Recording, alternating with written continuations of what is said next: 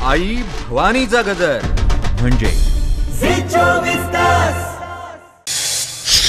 तर ठाकरे आणि तुमच्यामध्ये काय झालं? त्याच्याशी आम्हाला काय देणं घेणं? असं म्हणत अजित पवार यांनी मुख्यमंत्र्यांना काही सल्ले दिले आहेत मागचं तेच तेच काढून त्यामध्ये तुमचं मन रमवू नका.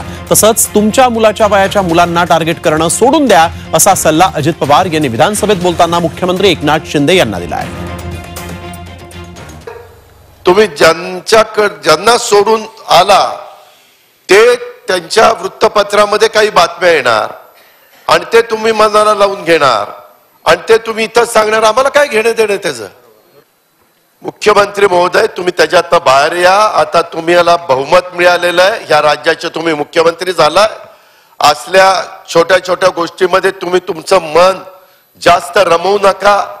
हे राज्यातल्या जनतेला अजिबात आवडणार नाही. राज्यातल्या जनतेला तरुणाला तरुणीला वाटतं की मला कसं काम मिळणार आहे? काय होतंय? तुम्ही तुमच्या मुलाच्या वयाच्या लोकांनाच जास्त टार्गेट करताय. जाऊ द्या ना. मुलं म्हणून सोडून द्या ना.